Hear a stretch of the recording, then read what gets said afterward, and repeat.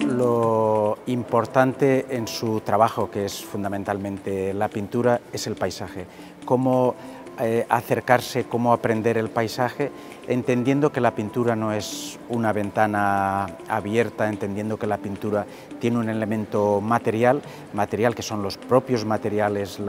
eh, los propios componentes de, la pintura y también es la pintura como un, vocabulario. Entonces lo que hace para Ana Eva Bergman, el paisaje tiene un elemento eh, subjetivo, por supuesto, por supuesto no hay una separación entre el autor, entre el espectador y aquello, y aquello que ve, tiene un elemento de memoria, vemos que el paisaje eh, refleja sus experiencias, refleja sus viajes por España, su estancia en Carboneras, sus viajes por eh, los países nórdicos, pero que estas experiencias no están a menudo separadas. Son pinturas que están hechas por capas y este trabajar por sedimentaciones, por capas, le da un tiempo lento a la pintura que tiene mucho que ver eh, con un tiempo geológico, que va más allá del paisaje eh, instantáneo.